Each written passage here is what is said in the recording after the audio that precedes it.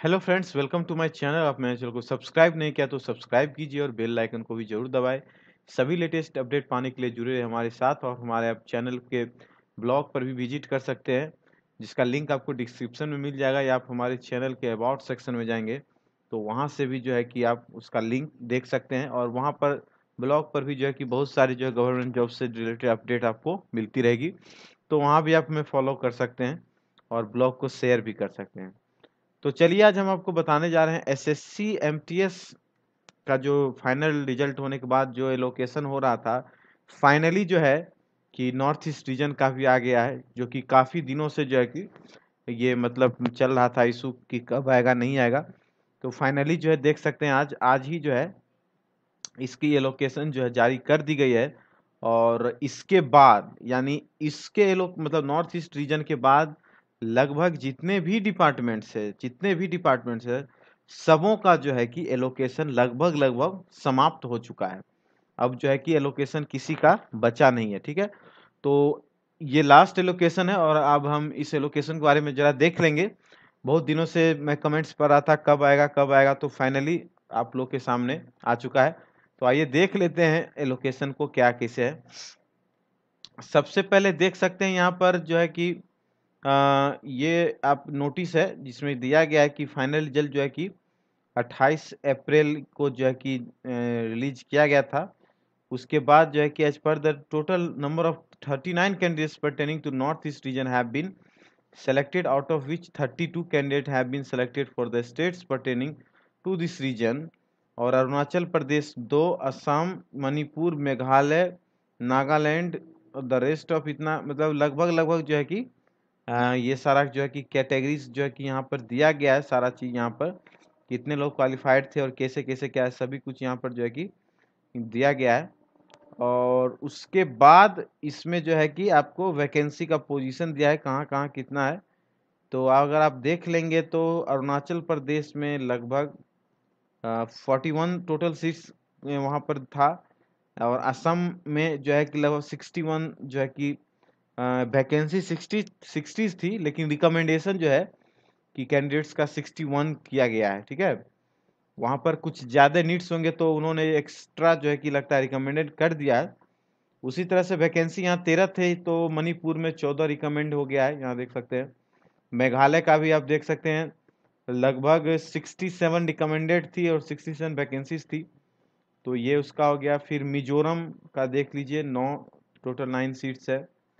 उसी तरह नागालैंड का फाइव सीट्स है। मतलब नॉर्थ ईस्ट में लगभग लगभग ज़्यादा वैकेंसीज नहीं होती है, क्योंकि उधर ज़्यादा ऑफ़िस आपको ज़्यादा नहीं मिलते हैं तो उधर जो है कि ज़्यादा सीट्स वगैरह भी नहीं होती है, और उसी के लिए, उसी हिसाब से जो है कि किया गया। लेकिन इस बार तो सेंट्रलाइज इस बार सेंट्रलाइज वैकेंसी है तो उस हिसाब से तो मतलब ऐसा नहीं है कि जो लोग वहाँ से भरे होंगे वही इसमें बहुत सारे लोग होंगे जिनका नॉर्थ इंडिया से भी होगा, जिनका साउथ इंडिया से भी होगा, जिनका वेस्ट इंडिया से भी होगा, वेस्ट रीजन से भी होगा। सभी लोग जो है कि इस बार जो है कि मेरिट वाइज बनाए तो सभी लोग का सभी जगह जो है कि रोटेट करेगा।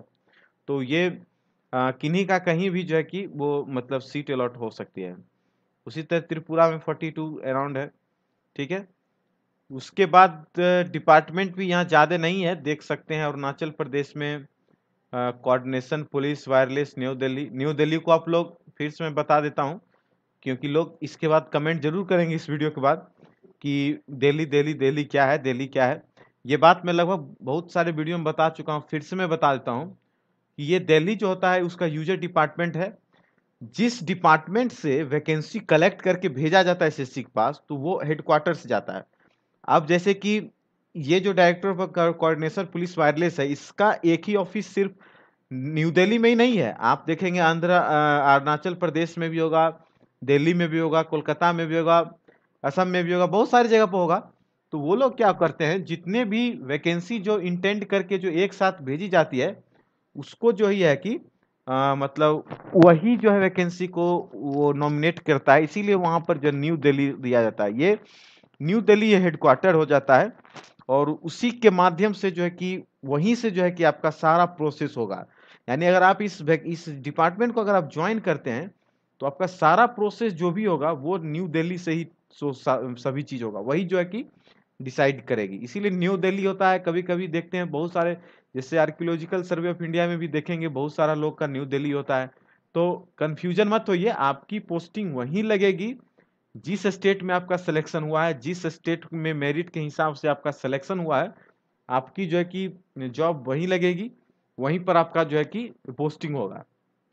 ठीक है? उसका principal accountant general Itanagar, Arunachal Pradesh, ये भी बहुत अच्छा डिपार्टमेंट है। उसका माइक्रो स्मॉल एमएसएमई जिसको बोलते हैं, वो है। Geological survey of India Shillong, ये है। यहाँ पर इतने सारे जो है कि, ज़्यादा नहीं है, तीन चार ऑफिसेस हैं तो उसमें आपको टोटल ट्वेंटी सेवन टोटल जो है कि इतने ही ज़्यादा सीट्स भी नहीं है।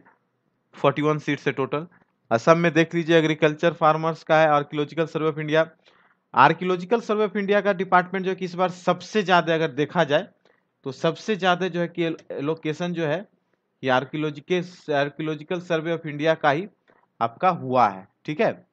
तो ये आर्कियोलॉजिकल सर्वे ऑफ़ इंडिया हो गया, उसके बाद सेंट्रल पर्पस ऑर्गेनाइजेशन ये एमईए एक्सटर्नल अफेयर्स का हो गया सीपीडब्ल्यूडी का हो गया, और ये सारा। तो आर्कियोलॉजिकल सर्वे ऑफ़ इंडिया का जो है कि वीडियो मैं जल्द से जल्द जो है आप लोगों के बीच लाऊँगा, उसमें क्या है, कैसे है, किस तरह का है, क्योंकि सबसे ज़्यादा जो डिपार्टमेंट लोकेट हुई है, मेरे हिसाब से वो पहला आर्कियोलॉजिकल सर्वे ऑफ़ इंडिया है, उसके साथ इनकम टैक्स है, उसके बाद ऑडिट का जो है ऑडिटर का है आ, मतलब कैग कैग एजी ऑफ़िस जिसको बोलते हैं इसमें सबसे ज़्यादा जिसमें कि आपको आ, उसी में प्रिंसिपल अकाउंट जनरल है controller controller of defence accounts है बहुत सारे कंट्रोल ऑफ़ जनरल अकाउंट्स है उसी का सब है जो सब उसी का डिफरेंट डिफरेंट टाइप्स का ऑफ़िस है तो उसका भी जो है कि जल्द से जल्द वीडियो लाएँगे लेकिन सबसे पहले आर्कियोलॉजिकल सर्वे ऑफ़ इंडिया का जो है कि मैं एक से दो दिन में सबसे पहले आपको अपलोड कर दूँगा।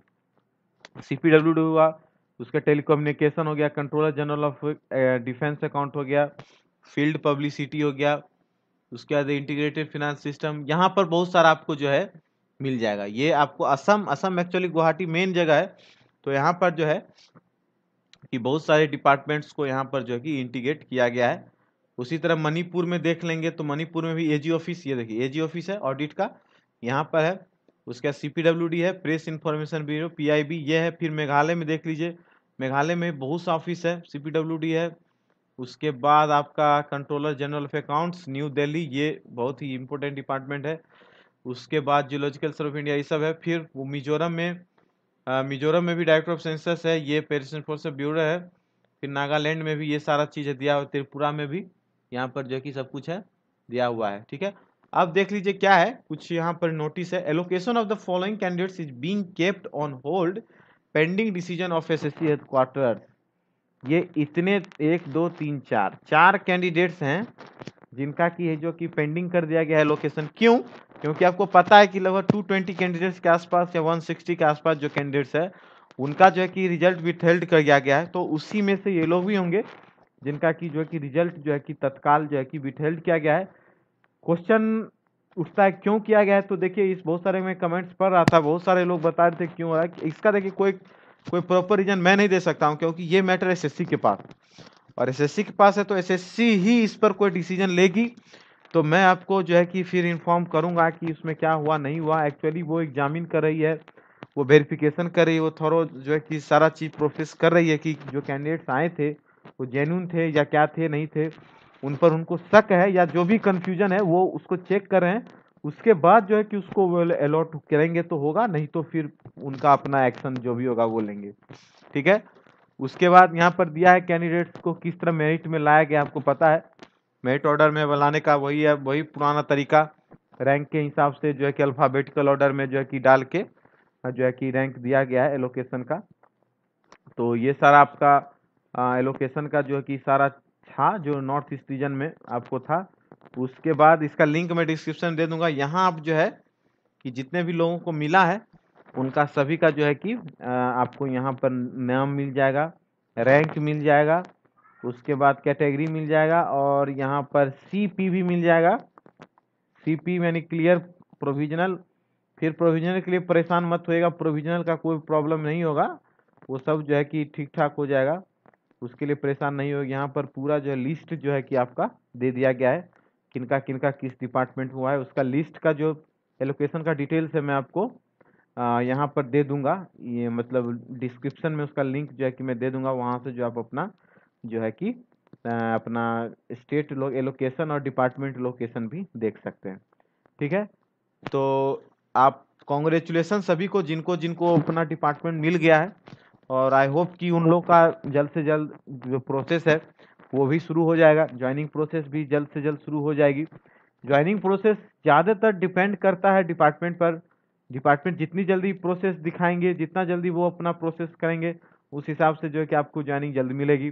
जितना लेट होगा, जितना प्रोसेस लेट होगा, उसमें आपको उतना टाइम लगेगा, ठीक है? तो यहाँ पर आप लगभग नॉर्थ ईस्ट रीजन का होने के बाद लगभग जितने भी डिपार्टमेंट से लोकेशन थे, अब खत्म हो चुके हैं, सभी का एलोकेट हो गया है।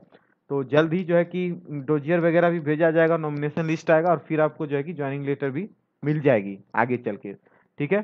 तो नेक्स्ट वीडियो में फिर मैं डिपार्टमेंट वाइज जो है बनाने का मेरा प्लान है, मैं धीरे धीरे उसको भी पूरा करूँगा।